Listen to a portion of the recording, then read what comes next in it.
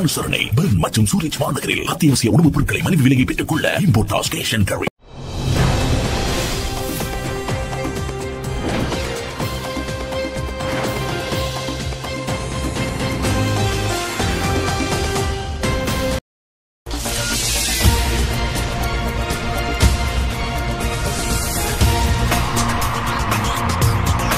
வணக்கம்.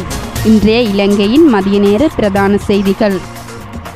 சாகும் வரை உண்ணாவிரதமிருந்து உயிர் நீத்த அன்னை பூபதியின் முப்பத்தி மூன்றாவது நினைவு தினம் இன்று. இராணுவத்தில் இணைந்தால்தான் வேலைவாய்ப்பு என்ற நிலைமை வடக்கு கிழக்கில் காணப்படுகின்றது. இலங்கையில் மீண்டும் தொற்று தாக்கம் அதிகரிப்பு இராணுவ தளபதி எச்சரிக்கை. இலங்கையில் வாட்ஸ்அப் உள்ளிட்ட சமூக வலைத்தளங்களை பயன்படுத்துபவர்களுக்கு அவசர எச்சரிக்கை. மத தீவிரவாதத்தை கருவியாக பயன்படுத்தி அரசியல் சக்தியை பலப்படுத்துவதற்கான முயற்சியே ஈஸ்டர் தாக்குதல். தொடர்வென விரிவான செய்திகள். சாகும்பரை உண்ணாவிரதமிருந்து உயிர் நீத்த அன்னை பூபதியின் முப்பத்தி மூன்றாவது நினைவு தினம் இன்று. வடக்கு கிழக்கிலிருந்து இந்திய இராணுவத்தினை வெளியேற்றும் பொருட்டு சாகும்பரை உண்ணாவிரதமிருந்து உயிர் நீத்த அன்னை பூபதியின் முப்பத்தி மூன்றாவது நினைவு தினம் இன்று அனுஷ்டிக்கப்படுகின்றது.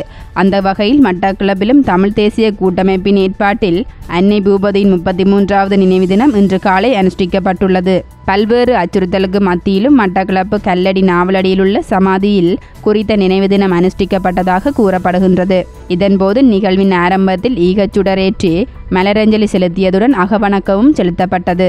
குறித்த நிகழ்வில் மட்டு மாநகர சபையின் முதல்வர் தி. சரவணபவன் ஈராவூர் பெற்று பிரதேச சபை தவிசாளர் சர்வானந்தா முன்னாள் நாடாளுமன்ற உறுப்பினர்களான ஞா. ஸ்ரீநேசன் ப. அரியநேந்திரன் முன்னாள் கிழக்கு மாகாண சபை உறுப்பினர் மா. நடராஜா மட்டு மாநகர சபை உறுப்பினர்களான ஜே ஆர் ராஜேந்திரன் ஆகியோர் கலந்து கொண்டிருந்தனர். மேலும் நிகழ்வு நிறைவடைந்து அதன் பின்னர் வருகை தந்தவர்கள் காத்தான்குடி போலீசார் மற்றும் நீதிமன்ற தடை உத்தரவுடன் அப்பகுதிக்கு வருகை தந்திருந்தனர். மேலும் நிகழ்வு நிறைவடைந்ததும் அங்கு வருகை தந்திருந்த அனைவரும் திரும்பி சென்றதன் காரணமாக போலீசார் அங்கிருந்து திரும்பிச் சென்றுள்ளனர்.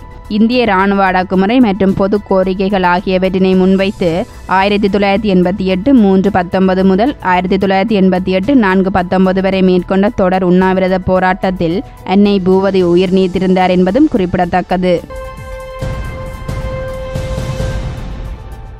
இராணுவத்தில் இணைந்தால்தான் வேலைவாய்ப்பு என்ற நிலைமை வடக்கு கிழக்கில் காணப்படுகின்றது.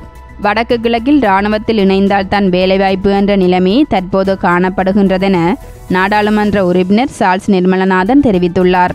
முல்லைத்தீவு வற்றாப்பளையில் நடைபெற்ற நிகழ்வில் கலந்து கொண்டு கருத்து தெரிவிக்கும் போதே அவர் இவ்வாறு குறிப்பிட்டுள்ளார். வடக்கு கிழக்கில் உள்ள இளைஞர் யுவதிகளுக்கு கல்வி மற்றும் அவர்களின் திறமைக்கேற்ற வேலைகளை வடக்கு கிழக்கிலுள்ள இளைஞர் யுவதிகளுக்கு கல்வி மற்றும் அவர்களின் திறமைக்கேற்ற வேலைகளை வழங்க அரசாங்கம் நடவடிக்கை மேற்கொள்ளவில்லை. அதற்கு மாறாக இங்குள்ள இளைஞர்கள் இராணுவத்தில் இணைந்தால்தான் வேலைவாய்ப்பு என்ற நிலைமை தற்போது ஏற்பட்டுள்ளது. ஆகவே நாம் அனைவரும் எந்ததொரு ஆட்சிக்கும் அடிபணியாமல் எம்முடைய மொழி இனம் மற்றும் கலாச்சாரம் ஆகியவற்றுக்கு முன்னுரிமை கொடுத்து ஒன்றாக இணைந்து பயணிக்க வேண்டுமென அவர் மேலும் தெரிவித்துள்ளார்.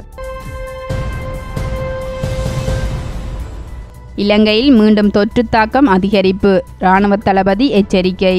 இலங்கையில் தொற்று தாக்கமானது திடீரென மீண்டும் அதிகரித்துள்ளதாக தெரிவிக்கப்பட்டுள்ளது. அதன்படி நேற்றைய தினம் மாத்திரம் முன்னூற்றி ஐம்பத்தி ஏழு பேருக்கு தொற்று உறுதிப்படுத்தப்பட்டுள்ளதாக சுட்டிக்காட்டப்பட்டுள்ளது. இந்த விடயத்தை தொற்று தடுப்புக்கான தேசிய செயற்பாட்டு மையத்தின் தலைவரும் இராணுவ தளபதியுமான ஜெனரல் சவேந்திர சில்வா தெரிவித்துள்ளார். இவர்களில் இருநூற்றி அறுபது பேர் ஏற்கனவே தொற்றுக்கு உள்ளானவர்களுடன் தொடர்பில் இருந்தவர்கள் எனவும் அவர் குறிப்பிட்டுள்ளார். இதற்கமைய நாட்டில் தொற்றுக்குள்ளானவர்களின் எண்ணிக்கை தொண்ணூற்றி ஆறாயிரத்தி எழுநூற்றி தொண்ணூற்றி ஆறாக அதிகரித்துள்ளது எனவும் இராணுவ தளபதி கூறியுள்ளார். நாட்டு மக்கள் அனைவரும் சுகாதார விதிமுறைகளை கடைபிடித்து எச்சரிக்கையுடன் நாளாந்த நடவடிக்கைகளை முன்னெடுக்க வேண்டும் எனவும் அவர் கேட்டுக்கொண்டுள்ளார். இதேவேளை சித்திரை புத்தாண்டு பண்டிகை காலத்தை தொடர்ந்து வடக்கு உள்ளிட்ட மூன்று மாகாணங்களில் தொற்று நோயாளர் தொகை அதிகரிக்கக்கூடும் என பொது சுகாதார பரிசோதகர் சங்கம் எச்சரித்துள்ளது.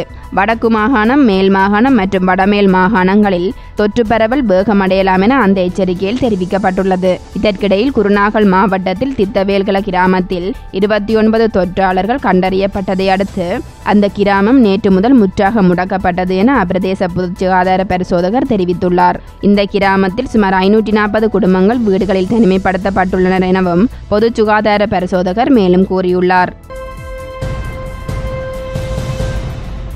இலங்கையில் வாட்ஸ்அப் உள்ளிட்ட சமூக வலைதளங்களை பயன்படுத்துபவர்களுக்கு அவசர எச்சரிக்கை.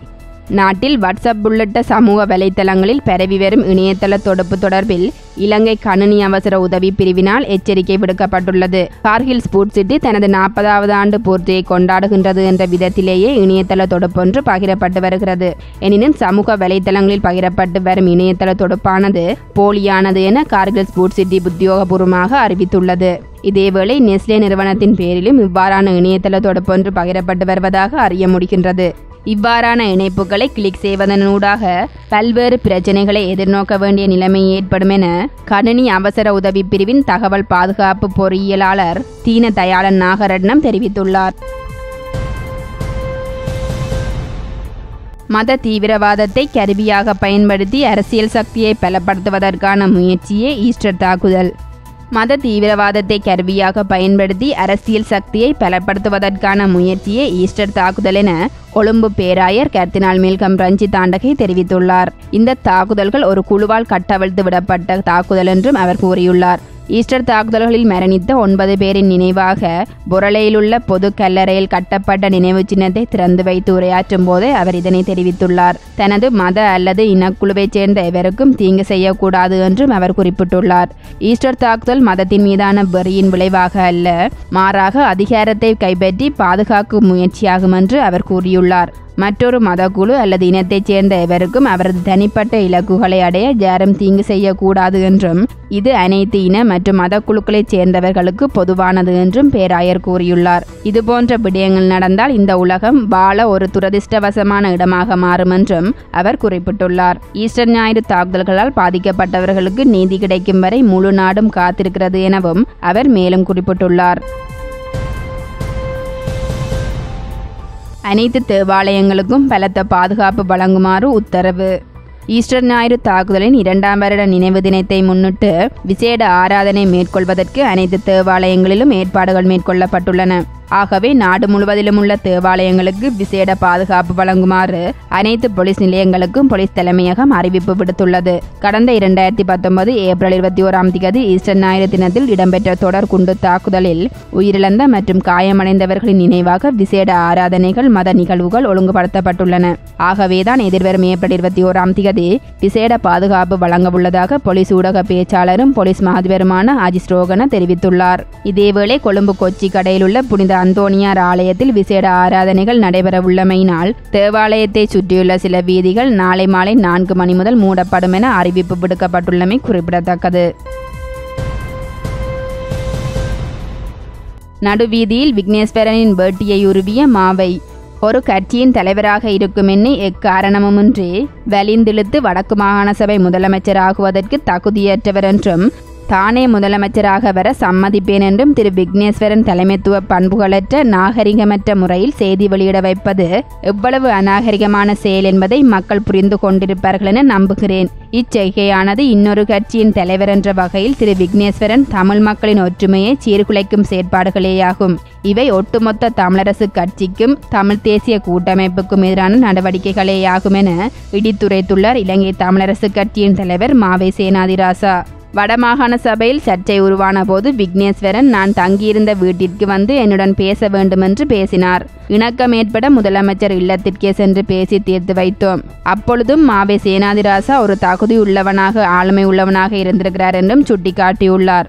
அண்மையில் சி வி விக்னேஸ்வரன் பேட்டியொன்றில் மாவே சேனாதிராசாவை அவமதிக்கும் விதமாக பேசி பம்புக்கு இழுத்திருந்தார். மாகாண சபை முதலமைச்சராக அவருக்கு தகுதி இல்லை. வேலன் சுவாமிக்கு அந்த தகுதியுண்டு என சிரிப்பு மூட்டும் கருத்து தெரிவித்திருந்தார். இதற்கு ஒரு அறிக்கையில் பதிலளித்துள்ளார் மாவே சேனாதிராசா அவர் வெளியிட்டுள்ள பதில் அறிக்கையில் பதினான்கு நான்கு இரண்டாயிரத்தி இருபத்தி ஒன்று அதிகாலை சித்திரை புத்தாண்டு பிறந்து வந்த நேரத்தில் ஒரு பத்திரிகை மேற்படி குறித்த முதல் பக்க தலைப்புச் செய்தியை வரவைத்தார் நீதிபதி சி வி விக்னேஸ்வரன்.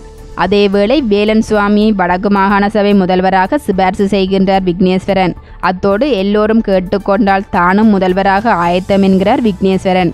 இத்தனைக்கும் மாவே சேனாதிராசா இரண்டாயிரத்தி பதிமூன்றிலோ தற்போதோ விக்னேஸ்வரனிடமோ சம்பந்தனிடமோ வேறொருவரிடமோ இப்பதவியை கேட்டு நிற்கவில்லை. அல்லது கட்சியில் பதவி கேட்கும் நிற்கவில்லை. தகுதி இல்லை என்று விக்னேஸ்வரன் வர்ணித்த மாவே சேனாதிராசா இரண்டாயிரத்தி பதிமூன்றில் முதலமைச்சராக வந்திருக்க முடியும். ஆனால் மாவே சேனாதிராசா தான் விக்னேஸ்வரனை வடக்கு மாகாண சபைக்கு முதல்வராக கொண்டு வந்தவர் என்பதை இலகுவாக மறந்துவிட்டார்கள். மட்டக்களப்பு நீதிமன்றில் எமக்கு பிணை பல மாதங்களாக ஆயிரத்தி தொள்ளாயிரத்தி எழுபத்தி ஒன்பது வரை மறக்கப்பட்ட நிலையில் அந்த நீதிமன்றத்துக்கு நீதிபதியாக திரு விக்னேஸ்வரன் வந்திருந்தார். எமது தரப்பில் திரு சிவ சிதம்பரம் மற்றும் பல வழக்கறிஞர்கள் வாதாடி வந்தனர். அன்று நீதிபதியே சட்டமா அதிபர் திணைக்கள வழக்கறிஞர்களுடன் வாதாடி எமக்கு பிணை தந்தார். அப்பொழுதுதான் நீதிபதி விக்னேஸ்வரன் எமக்கு அறிமுகமாகி இருந்தார். எமக்கும் அவர் மீது அபிமானம் ஏற்பட்டது. நான் யாழ்ப்பாணம் முப்பது மாட்டின் வீதியில் பக்கத்து அறையில் குடும்பத்துடன் இருந்து கட்சி பணியாற்றி வந்தேன். வடக்கு மாகாண சபையின் பிரச்சனையை தீர்த்தாக வேண்டும். நெல்லை ஆதீன முதல்வரும் ஜாழ் மாவட்ட ஆயரும் என் வீட்டுக்கு வந்து என்னிடம் பேசினார்கள். சமாதானமாக இப்பிரச்சனைகளை தீர்க்க ஒன்றுபட்டு இயங்கினோம். அடுத்த நாள் முதலமைச்சரை நான் தங்கியிருந்த வீட்டிற்கு வந்து என்னுடன் பேச வேண்டுமென்று பேசினார்.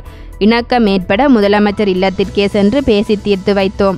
அப்பொழுதும் மாவே சேனாதிராசா ஒரு தகுதி உள்ளவனாக ஆளுமை உள்ளவனாக இருந்திருக்கின்றார்.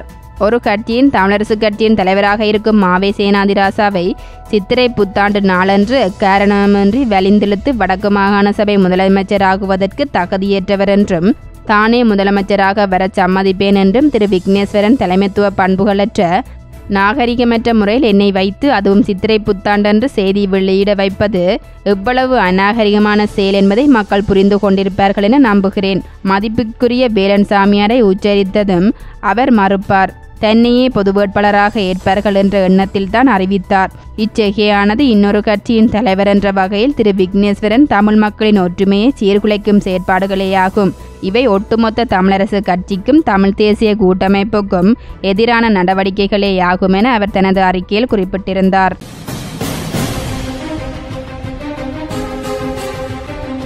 தரணி வாழ் தமிழர்களின் இதய ஒலி தமிழன் டுவெண்டி ஃபோர் டாட் காம்